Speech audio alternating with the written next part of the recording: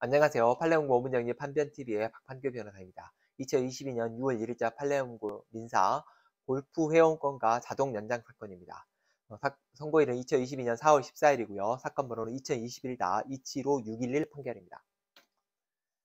이 사건은 이제 회원 지위 확인 청구에서고요. 원고는 이제 그 회사입니다. 법인인데 법인이 이제 골프장 회사를 상대로 어, 나 여전히 회원이니까 그러니까 그 회원 지위 확인을 구하는 겁니다. 그래서 결과적으로 원고가 이긴 사건이죠.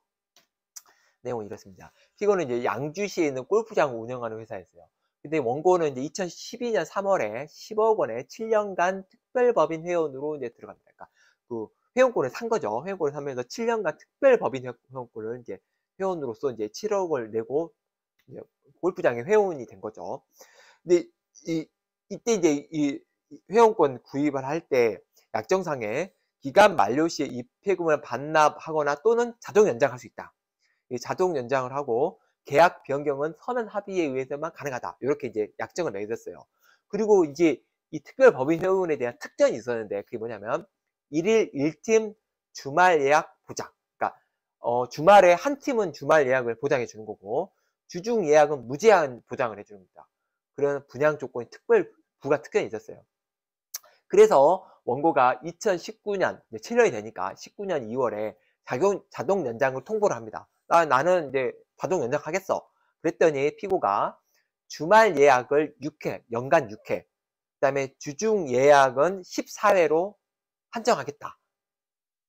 그러니까 주말 아마 월 뭐 6회일 수도 있겠죠. 어쨌든 뭐 그건 중요하지 않고 어쨌든 이렇게 주중 주말 예약 6회, 주중 예약 14회로 한정되는 것으로 변경을 하고 불수용 시 입회금을 반납해 주겠다라고 통보를 합니다. 그래서 원고는 어 그래 부가특전 그러니까 주말 일일 일팀 주말 예약 보장하는 거 안 해주는 거 안 돼라고 하니까 돈을 돌려주는 거죠. 그러니까 이제 원고가 그러니까 피고가 계약 해지한다고 하니까 어 이제 지금 원고가 이 소송을 제기한 거겠죠. 결국 이겁니다. 이게 자동 연장에 대한 애초에 합의가 있었는데 이 부가 특전도 그럼 동일하게 연장되느냐 아니 별도로 타결되느냐 이게 이제 문제가 된 겁니다. 대법원 뭐라고 하냐면 부가 특전에 대해서 연장 시에 새로 결정되는 내용이 없다. 애초 계약에. 부가 특전은 자동 연장 후에 새로 다시 갱신한다. 이런 내용이 없다는 거예요. 자동 그렇다면 자동 연장 시에 동일한 조건과 특전이 계속 유지, 유지된다는 의사로 2012년에 10억 원이라는 돈을 내고 합, 회원권을 산 거라는 겁니다. 따라서 특전의 내용을 피고가 일방적으로 병하는 것은 자동 연장 취지에 맞지 않는다. 그리고 유사 사례가 있었어요. 뭐냐면 특별 개인 회원의 자동 연장 시에는 부가 특전에 대한 승소 판결이 확정이 돼 있었어요. 특별 개인 회원에. 그러니까 이 골프장에 대해서 특별 개인 회원이라고 해가지고 주말 뭐 이렇게 보장되는 것에 대해서 승소 이미 확정돼요. 그렇다면 특별 법인 회원을 달리 취급할 이유도 없다는 겁니다. 따라서 이거는 자동 연장 시에 부가 특정도 자동 똑같이 유지된다. 이렇게 이제 대법원이 판단하는 거죠.